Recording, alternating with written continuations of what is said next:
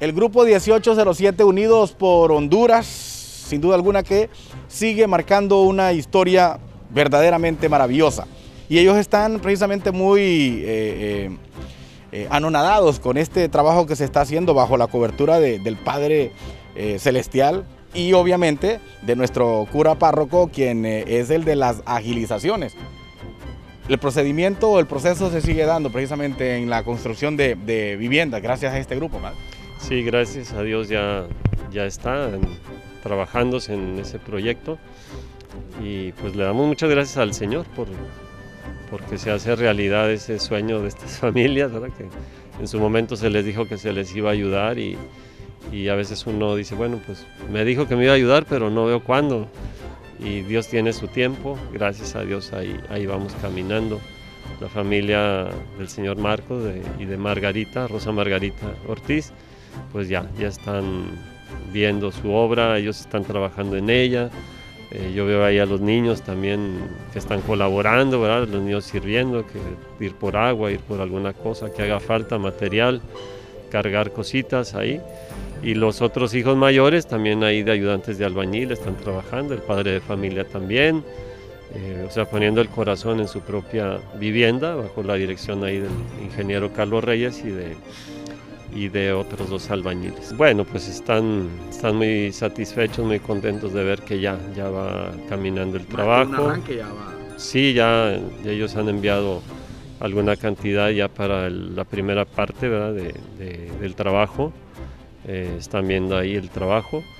Y bueno, eh, también ya gracias a Dios ya tenemos los otros dos solares en la colonia Sinaí. Ya el día de ayer ya nos dieron la constancia ya del ya antes nos habían dado la semana pasada la constancia del patronato y ahora ya en catastro ya está el, registro como debe ser todo.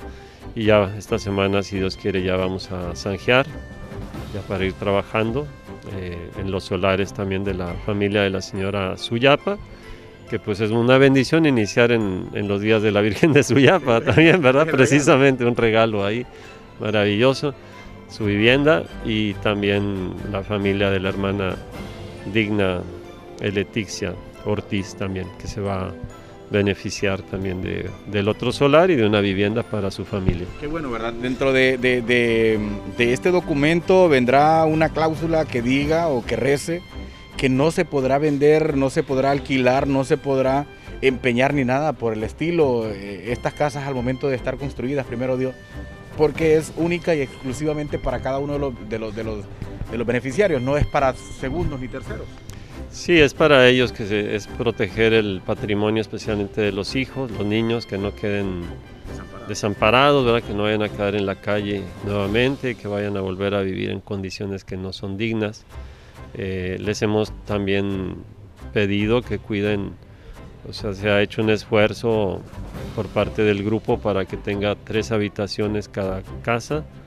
Eh, tenemos que ir cuidando también esto en nuestras comunidades. Yo sé que la pobreza nos hace vivir todos juntos a veces, pero haciendo un esfuerzo poco a poco creo que podemos ir pues guardando pues la intimidad también de cada, de cada persona, también su sexo, eh, hombres, mujeres caso de las, niñas que estén separadas de los niños, eso, eso se está buscando también. Eh, o sea, que los niños no se estén cambiando ahí delante de las niñas, por ejemplo, y que no vayamos a tener, pues sí, alguna cosa que lamentar.